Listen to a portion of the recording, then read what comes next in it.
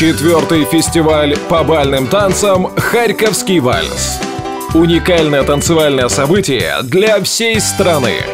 Лучшие танцевальные пары Украины шести возрастных категорий будут бороться за звание лучшей пары по бальным танцам. Харьковский вальс. 12 мая. Уличная площадка возле театра оперы и балета.